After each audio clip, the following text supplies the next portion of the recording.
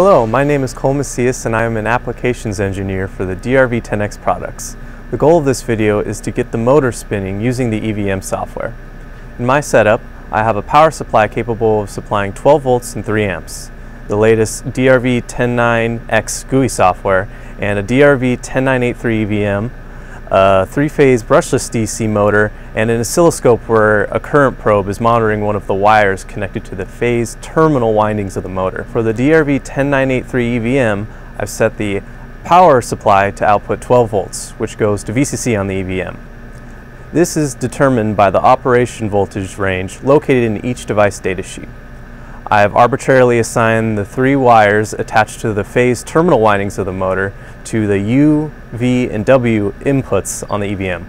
Make sure the potentiometer attached to the speed pin on the EVM is turned all the way counterclockwise. Finally, connect the I2C interface between the EVM and the computer with a USB to any and mini USB cable.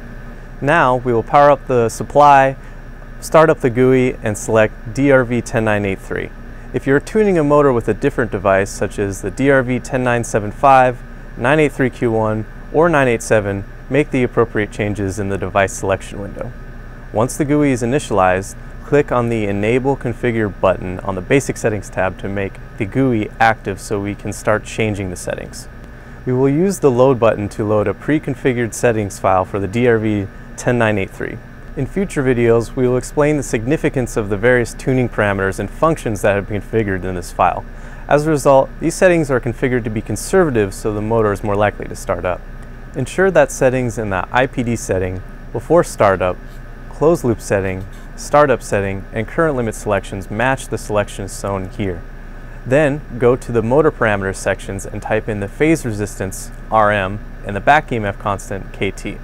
Note that these parameters are unique to each motor and the process to measure them is covered in a previous video. Now, go to the Advanced Settings tab and ensure the settings in the Lock Detect, Anti-Voltage Surge function, Pulse Width Modulation output options, FG options, and Device options sections match the settings shown here. Finally, navigate to the Display tab and disable the Sleep Standby mode. Also, if you know the number of poles in the motor you are using, insert them into the pole box in the display section. This will allow the GUI to calculate the motor speed and translate it into RPM once the motor starts to spin. Finally, we can enable the override function and manually configure the speed of the motor via I2C. In this example, I'll use a speed command of 100, which is much less than the maximum value of 511. Once I hit enter, there will be at least 5 seconds dedicated to aligning the rotor, and then the motor will slowly start to rotate. By then, the current probe should pick up a sinusoidal current waveform with increasing frequency until the rotor frequency matches the open loop to closed loop threshold. Now that the motor has reached closed loop, I can change the closed loop speed by simply typing in a new number, such as 300, in the box as shown here. Congratulations for getting the motor spinning. In upcoming videos, we'll tune the motor further and look at the advanced features that were disabled in this configuration. Thanks for watching.